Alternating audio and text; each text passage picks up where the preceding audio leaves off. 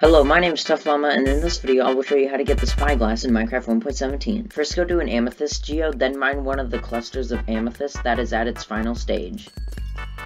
Then you'll get some Amethyst shards. Then go to a cave of some sort and look for copper ore. Then smelt the copper in a furnace so you have at least two copper ingots. Then go to a crafting table and craft a spyglass like this. Press the use button to zoom in. When you use a spyglass, you will move a lot slower, such as when you block with a shield. Subscribe!